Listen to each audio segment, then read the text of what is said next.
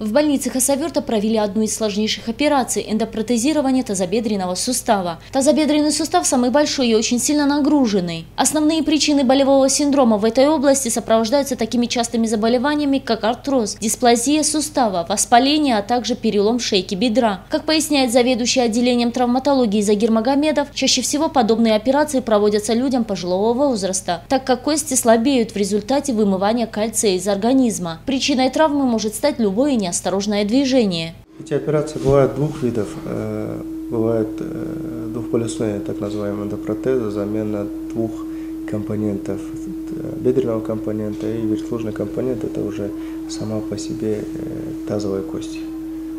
Верхлужная впадина меняет два компонента. Учитывая возраст больного, была, была произведена замена бедренного компонента. То есть шейка бедра отпиливалась, само бедро вбивается штифт, так называемая ножка протеза, вместе с головкой. Головка бедра, она, э, где она входит в, сам по себе в таз, э, она убирается и заменяется. Такая операция в Хасавюрте проводится уже третий раз и, как отмечает врач, весьма успешно. Все это объясняется тем, что в больнице созданы все необходимые условия для проведения операции такой сложности. Как обозначил травматолог, пациенты после такой операции должны вести более подвижный образ жизни. В этом случае роль играет не только физическое состояние, но и психологический настрой. Больному рекомендуется активизация, то есть полная активизация, ходьба. Чем больше ходит, тем лучше. Довольно-таки сложная операция и для больного учитывая э, характерность, возрастную характерность, наверное, больных, потому что больные в основном возрастные. Э, перелом шейки бедра сама по себе травма очень тяжелая и связана с остеопорозом, с возрастом больных.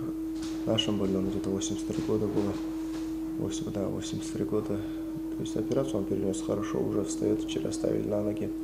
Наверное, сегодня тоже будем ставить на ноги. Целью эндопротезирования тазобедренного сустава является уменьшение болевого синдрома и восстановление функции сустава. Замена сустава – эффективный, а порой единственный способ восстановления функции, позволяющий значительно улучшить качество жизни человека, отмечает специалист. На данный момент пациент проходит процесс реабилитации. Врачи наблюдают положительную динамику. Бека Сулейманова, Пермагомед Пермагомедов. Информационная программа «Пульс».